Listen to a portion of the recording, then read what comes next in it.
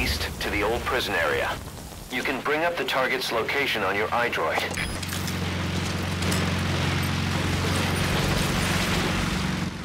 Take a good look at the enemy through your binoculars, and you can mark him. Marked enemies can be sensed when nearby, even if there's a wall between them. You should move the bodies of enemies somewhere out of sight.